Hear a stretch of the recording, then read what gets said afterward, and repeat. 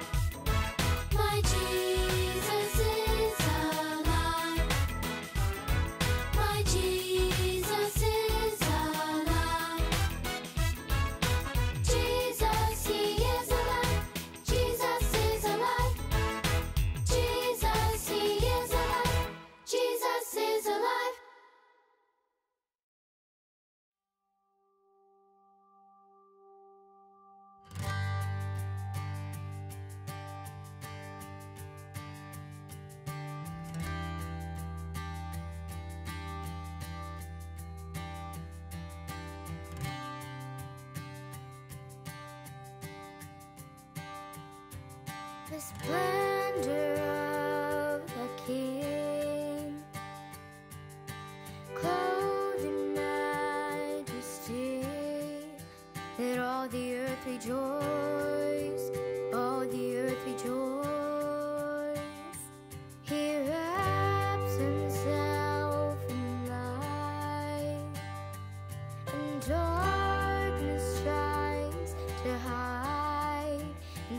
trembles at his voice, and trembles at his voice.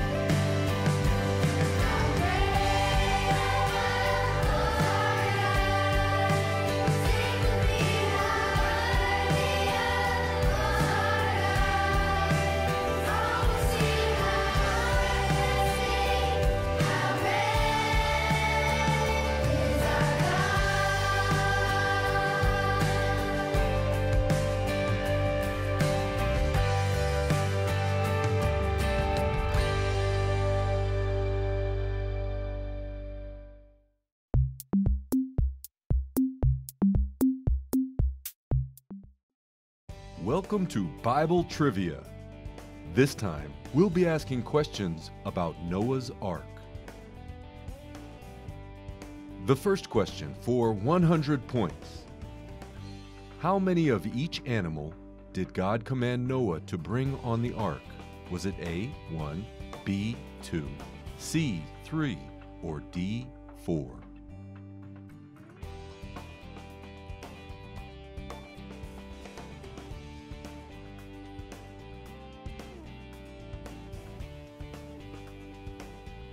The answer is B. God commanded Noah to bring two of each animal onto the ark. The next question for 200 points How would the Lord destroy mankind? A. By flood, B. By earthquake, C. By fire, or D. By starvation?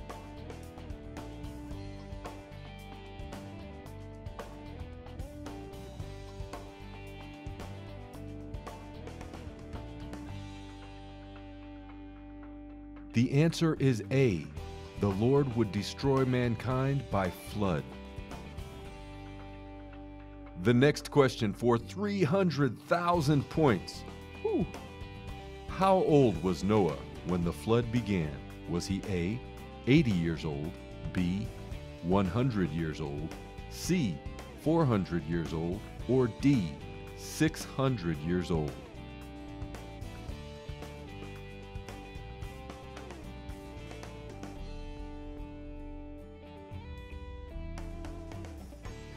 The answer is D. Noah was 600 years old when the flood began. The next question for 4,001 point. How long did it rain for? Is the answer A, 40 days and 40 nights? B, 150 days and 150 nights? C, 80 days and 80 nights? Or D, 900 days and 900 nights?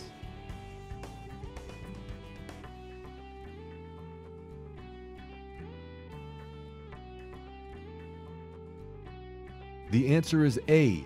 It rained for 40 days and 40 nights. The next question for zero points. How many people were on the ark? Was it A, two people, B, four people, C, six people, or D, eight people?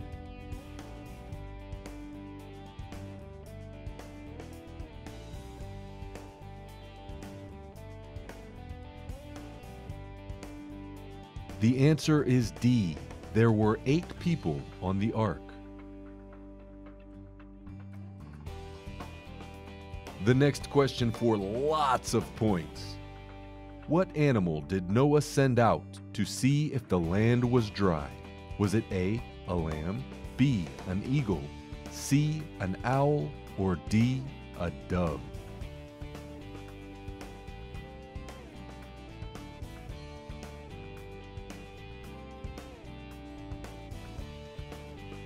The answer is D.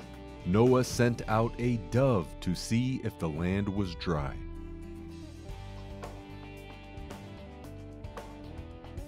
The next question for 700 points. God made a promise to never again send a flood to destroy the earth. What was the symbol of this promise? Was it A, a dove, B, a rainbow, C, a cloud, or D, a star?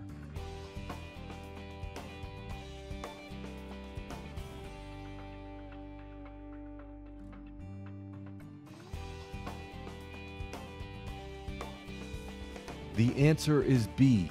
The symbol of God's promise was a rainbow. The next question for 10,000 points. How old was Noah when he died? Was he A, 650 years old, B, 850 years old, C, 950 years old, or D, over a thousand years old?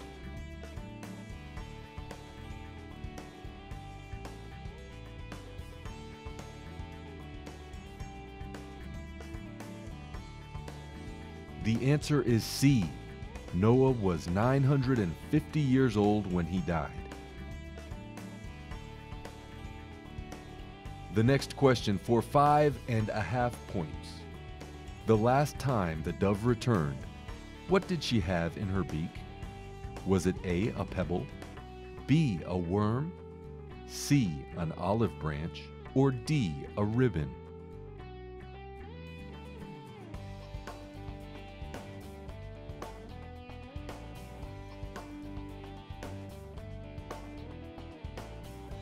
The answer is C. The last time the dove returned, she had an olive branch in her beak. And the final question for 100,000 points. How many birds of each kind did Noah bring onto the ark? Was it A, 10, B, 7, C, 2, or D, 4?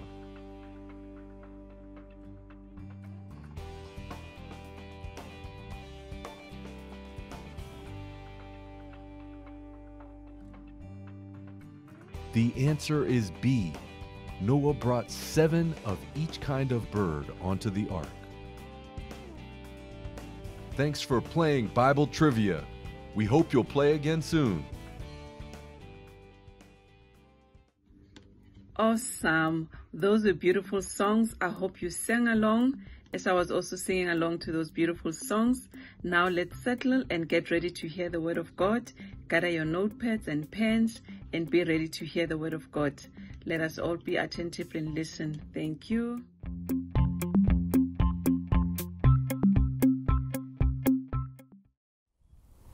Good morning, boys and girls. My name is Tisha Khomotsa, and I hope we are having a blessed Sunday. I hope we're excited to learn today. And today we're going to learn about trust. So, trusting in the Lord. What does it mean?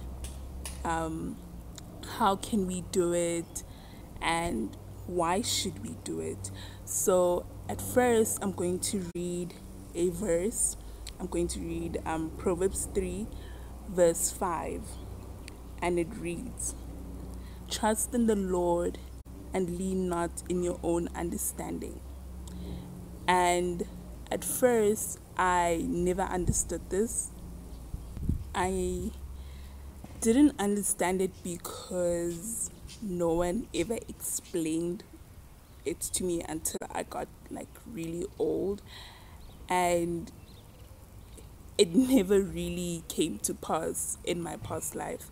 But now, when I actually come across challenges, I'm able to understand why am I trusting in the Lord because he is the most magnificent, awesome, um, great father, you know, because he has your back. He will never leave you nor forsake you.